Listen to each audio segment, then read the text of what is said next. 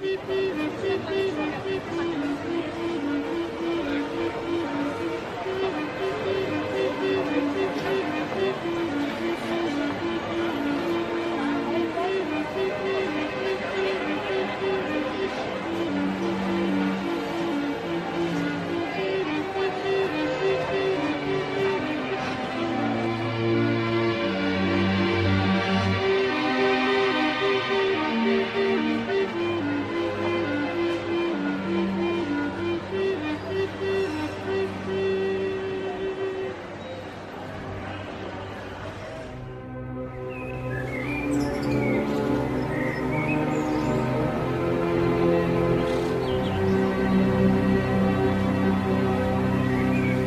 En 1958, lorsque le général de Gaulle revient au pouvoir, après quatre années de guerre et des milliers de morts dans les deux camps, il est accueilli comme un sauveur, surtout par les Français d'Algérie.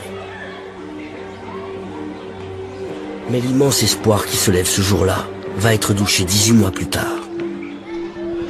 Alors que militairement la guerre semble gagner côté français, le général opère un revirement spectaculaire.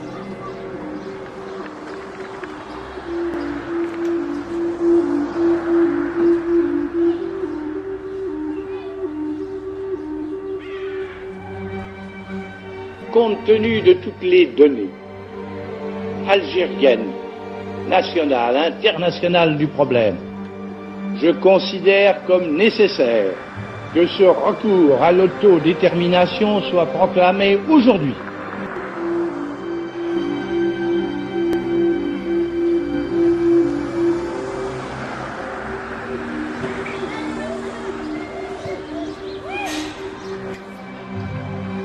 Avec cette annonce d'un référendum, De Gaulle ouvre la porte, fin 1959, à une forme d'indépendance.